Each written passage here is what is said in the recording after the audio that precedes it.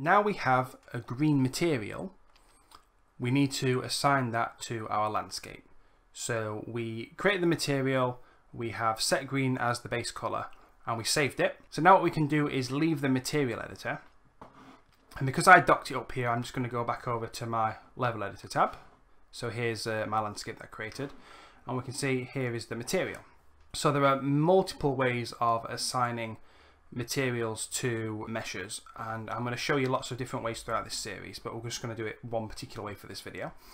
Okay so what we'll do is just click on the landscape. We get the yellow outline to tell us that that is selected and the details for it appear in the details panel. Beautiful. So if we look down here at landscape we can see landscape material and it tells us here none there is no material assigned so let's assign one. Luckily, we have one prepared.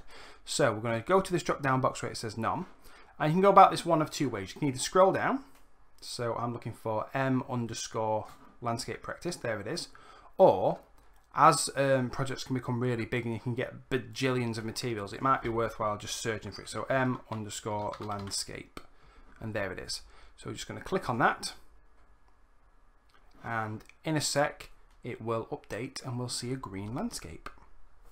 there it is. Oh, it looks lovely. Okay, so once that's done, that's it with assigned material. That's all there is to it. But what I want to do now is set up the next step. So whenever I assign a material, I tend to want to have a really good look around it. So if we have a look, oh, this is what I'm looking for. That, my friend, looks crap. That's because this is shiny and I want this to be quite a matte surface. So if we just, let's just play this. And we have a little run. Here we go. We can see this is, this is shiny and it looks weird. And that's because we haven't set a roughness value in the material. So that's what we'll be covering in the next video. Let's just hit escape. So join me in the next one where we'll be creating a node and connecting it to the roughness value of our material. Thanks for watching. If you want to take your learning further, I recommend An Introduction to Unreal Engine 4 by Andrew Sanders and Unreal Engine 4 Game Development Essentials by Satish PV. Check them out using the links in the video description below.